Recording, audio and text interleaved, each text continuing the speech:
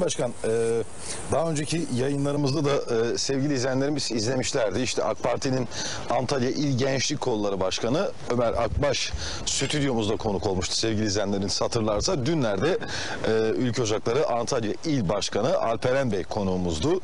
Ve bugün de Cumhuriyet Halk Partisi Antalya İl Gençlik Kolları Başkanı olarak siz Sayın Musa Gül olarak burada konuğumuzsunuz.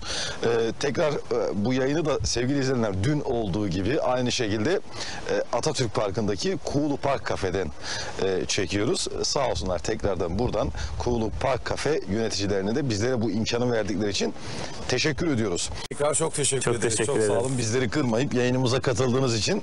E, sevgili izleyenler e, bugün ki e, konuğumuz Ak- Günaydın Akdeniz programının konuğu yine banttan çektik tabii dün olduğu gibi bugünkü konumuz da Cumhuriyet Halk Partisi Antalya İl Gençlik Kolları Başkanı Musa Gül idi.